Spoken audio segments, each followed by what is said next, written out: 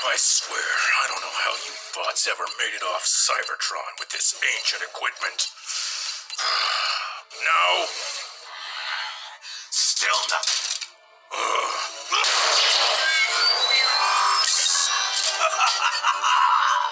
Let's get what we need before it conks out again. I guess sometimes the brawn tops the brains. Are all the potential landing sites we've identified. Now, if we can find the space bridge that brought the Allspark here, Ugh, we can triangulate which of these sites is the real deal. also, we're going to need that space bridge to get home. I don't think the Ark will survive another trip through the dead universe. Oh, you went through the dead universe. Of course. Why didn't you just say that?